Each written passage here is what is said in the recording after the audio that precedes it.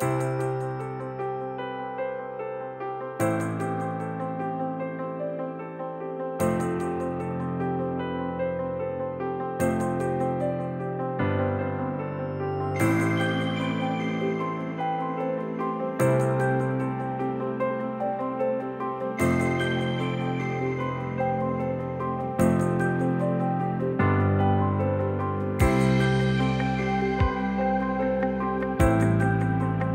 मेरा नाम आदिल अली ख़ान है। मेरा ताल्लुक़ सिंध वाइल्ड लाइफ डिपार्टमेंट से है। ये सिंध वाइल्ड लाइफ डिपार्टमेंट जो है, ये 19 अर्ली एटीज़ से यहाँ इस बिल्डिंग में अलॉट हुआ था हमें ऑफ़िस। एक्चुअली ये बिल्डिंग फ्री मेसन्स की है और ये 1914 में कंस्ट्रक्ट हुई थी और ये फ्री मेसन्स एक सबसे पुरानी ओल्डेस्ट ऑर्गेनाइजेशन है, पूरी दुनिया में है और ये इसका हेड ऑफ़िस होता था।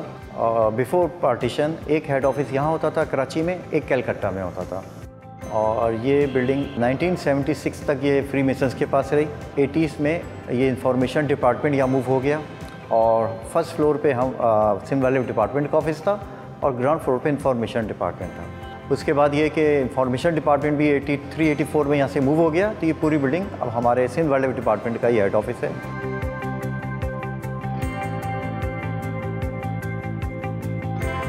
जो ऑर्गेनाइजेशन है फ्री मेसन्स ये एक बेसिकली ये जहाँ भी की बिल्डिंग्स होती हैं, बेहतरीन आर्किटेक्ट हैं ये। आपने देखा होगा दुनिया भर में जो इनकी बिल्डिंग है, बहुत खूबसूरत बिल्डिंग्स होती हैं कॉलोनियल स्टाइल की बिल्डिंग होती हैं। जितना ये काम किया गया है, इसमें वुडन काम जो किया है टोटल बर्मा टीक इसका काम किया गया है इस बिल्डिंग में। जो ब्लॉक्स यूज़ किए गए हैं, वो ज़्यादातर गिजरी ब्लॉक्स हैं। और इसके अलावा जो यहाँ ग्रिल्स हैं, वो क्लिफ्टन स्टाइल की ग्रिल हैं, जो आपको जहांगीर कोठारी जो क्लिफ्टन में है, वहाँ मिलेंगी। उसी तरह की यहाँ ग्रिल जो हैं, वो का डिज़ाइन है।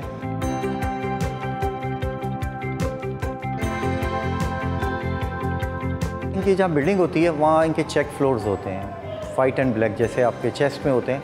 तभी हमारे ऊपर एक लाइब्रेरी है वाइल्ड लाइफ की। इसी हॉल पे जहाँ मैं खड़ा हूँ, वहाँ आप फ्लोर देखेंगे, वहाँ आपको चेक फ्लोर मिलेगा।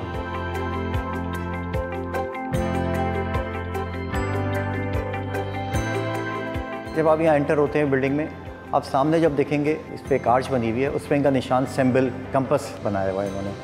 वो आपको नज़र आएगा। फिर इसके राइट हैंड लेफ़्ट पे दीवारों पे टैब्स हैं। इनका कोई टेंपल था, इस बिल्डिंग जो ये उन्नीस सौ चौदह में बिल्डिंग बनी है, उससे पहले। इनका टेंपल था कराची में, जो डेमोलिश हो गया था।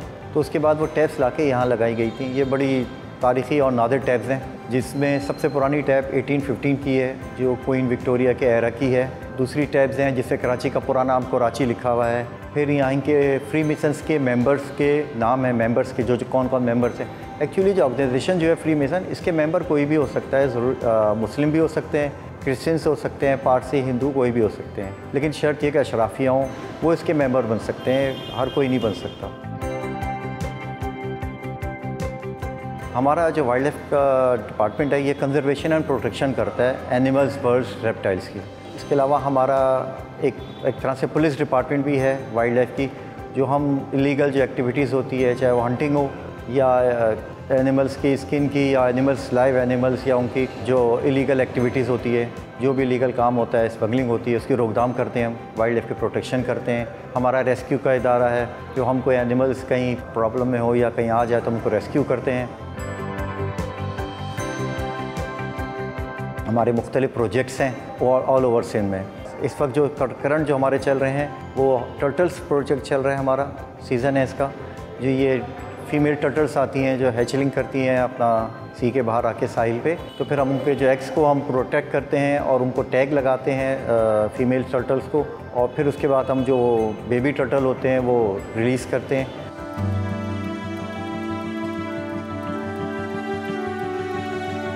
इसके अलावा हमारा एक अभी रिसेंट प्रोजेक्ट सर्दी में शुरू होने वाला है dolphin rescue project Indus river में। अल्लाह ताला ने पाकिस्तान को हर चीज़ दी है और यहाँ ख़ास बात है जो हमारी डॉल्फिन हैं ब्लाइंड डॉल्फिन हैं, जो रिवर में डॉल्फिन आमतौर पर समंदर में होती हैं। तो ये ब्लाइंड डॉल्फिन जब चैनल में फंस जाती हैं, जब पानी कम होता है तो हमारा ये रेस्क्यू प्रोजेक्ट होता है इंडस रिवर सक्कर में।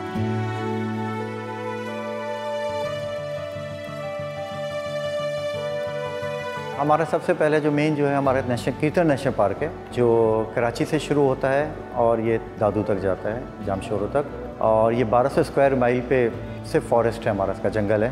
इस पर फेंस लगी हुई है जिसमें मुख्तलिफ़ किस्म के एनिमल्स हैं बर्ड्स हैं रेप्टाइल्स हैं आईबेक्स हैं वहाँ पे ब्लैक बक है, उड़ियाल है और हिरन है और क्रोकोडाइल्स हैं, काफ़ी चीज़ें हैं। और ये यू एन से रिकगनाइज पार्क है। और इसके अलावा हमारी सेंचुरीज़ हैं। कराची से करीब जो है ठट्टा में हालेजी लेक है हमारी सेंचुरी जो बर्ड्स का पैराडाइज कहलाती हैं माइग्रेटरी बर्ड्स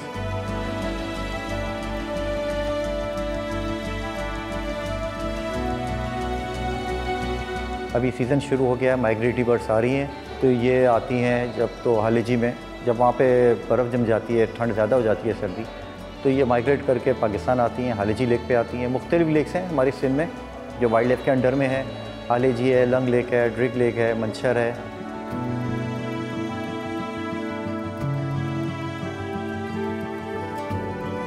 हम यहाँ 1980s अर्ली 80s में मूव हुए थे इस बिल्डिंग में। इसके बाद ये आप जहाँ मौजूद हैं, सिंध वाइल्ड लाइफ म्यूज़ियम है, जो 94 के बाद अब जाके रिस्टोर हुआ है।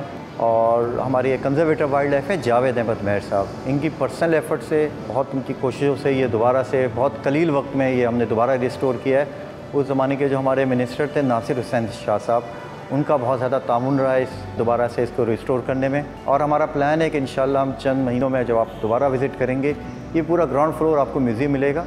हमने ये स्पेसिमेंस और भी मंगवाए हैं। हम इस पूरे फ्लोर को म्यूज़ियम बना रहे हैं। ये एजुकेशन पर्पज़ पे जो स्टूडेंट आते हैं, उनके लिए एक बेहतरीन है, क्योंकि म्यूज़ियम आपको तो ज़ू में भी आपको एनिमल नज़र आएँगे। आप देख सकते हैं। ज़ू और म्यूज़ियम में बहुत फ़र्क है। आप एनिमल्स जू म्यूज़ियम में जो है आप एनिमल्स जो हैं, वो आप डिटेल में देख सकते हैं, करीब से देख सकते हैं छू के देख सकते हैं, इस पर स्टडी पर्पज़ के लिहाज से, लेकिन आप जू में ये नहीं देख सकते। जो जानवर अपनी कुदरती मौत की डेथ हो जाती है तो उनको हम जो है यहाँ म्यूज़ियम में स्टफ़ करते हैं। जो इस आर्ट को जो स्टफ़ करते हैं, इसको टैक्सीडर्मी कहते हैं।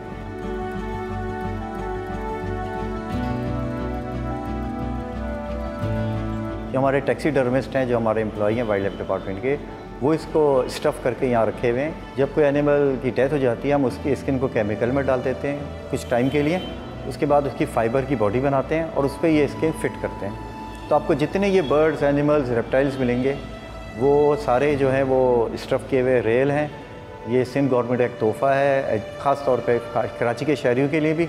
एक बड़ी यूनिक सा म्यूज़ियम है। फिर हमारे यहाँ बहुत स्टूडेंट आते हैं स्कूल कॉलेज यूनिवर्सिटीज़ के, जो इस म्यूज़ियम का विज़िट करते हैं। इसी हॉल के ऊपर हमारी लाइब्रेरी है, जो बहुत बड़ी वाइल्ड लाइफ की रेफरेंस लाइब्रेरी है यहाँ जोलॉजी बॉटनी पे, और बहुत पुरानी बुक्स हैं, वो भी एक हेरिटेज है, ये खुद बुक्स एक हेरिटेज है, जिसमें आपको हंड्रेड ईयर्स अबव बुक्स मिलेंगी।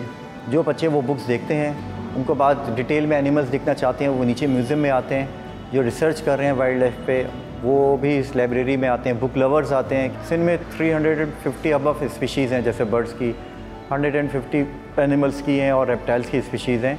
वो हमने तकरीबन तस्वीरें कब यहाँ लगाई हुई हैं पिक्चर्स लगाई हुई हैं, आप देख रहे होंगे। इनमें हमने छोटी छोटी नॉलेज इनके बारे में लिखा हुआ है, इनकी हैबिट क्या है, इनका नाम क्या है साइंटिफिक नेम क्या है। तो स्टूडेंट्स आते हैं, वो पढ़ते हैं और उनको मुस्तफ़ होते हैं इससे। जो कराची के जो आवाम हैं, जो शहरी हैं, आएँ, बच्चों को दिखाएँ और एक हमारा हेरिटेज है ये, क्योंकि ये बिल्डिंग 2008 में नेशनल हेरिटेज डिक्लेयर हुई थी। तो ये बिल्डिंग खुद एक बहुत खूबसूरत बिल्डिंग है, ये आप ज़रूर विज़िट करें।